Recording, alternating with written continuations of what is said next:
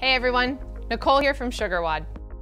Does programming a week of workouts require manual work that maybe involves multiple steps such as Google Docs, copy and paste, text messages, and emails to coaches?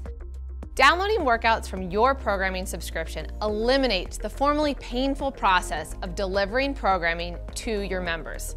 That's right, we here at SugarWOD, we help gym owners sleep better at night. I want to walk you through SugarWOD's workout download capability.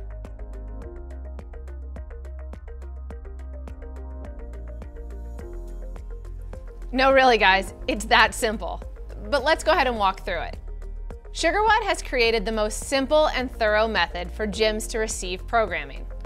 When you subscribe to a programming feed, you'll receive an email notification that your workout publisher has released new workouts for you to download.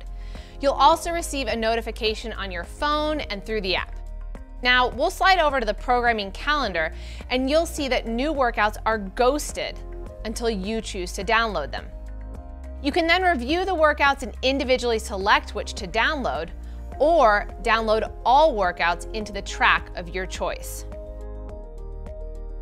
SugarWOD enables gyms to run multiple tracks of programming all under one umbrella, and our download feature supports you having different programming for different tracks. Once downloaded, the workouts turn blue.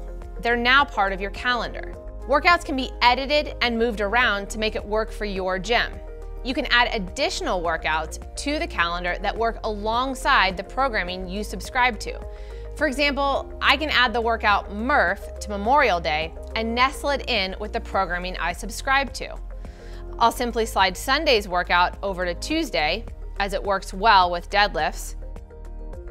And then I will add the workout Murph to Sunday.